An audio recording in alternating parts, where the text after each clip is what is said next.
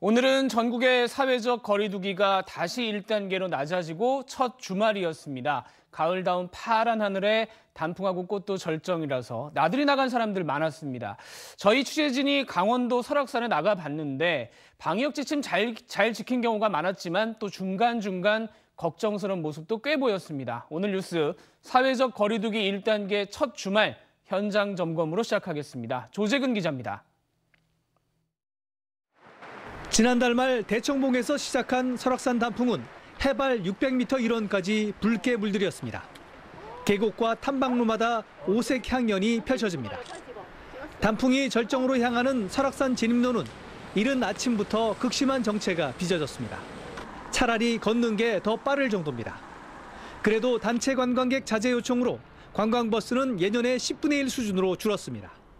설악산 인근의 무료 주차장입니다. 예년 같으면 승용차와 관광버스로 가득 찼을 텐데 올해는 이렇게 넓은 공간이 텅 빌 정도로 빈자리가 많습니다. 오늘 설악산엔 지난해의 절반을 조금 넘긴 3만 명 정도가 찾아왔습니다.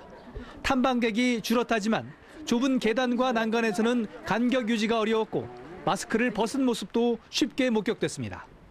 사진 찍는다고 좀 습기가 세려가지고 아, 네. 스키 때문에요? 네.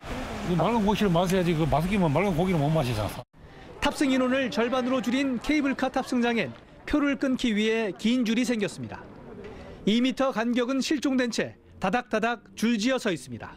사람이 많아서 그냥 좀 이따 가야 되겠어요. 사람이 많이 모이니까. 그렇지. 걱정이 되지요.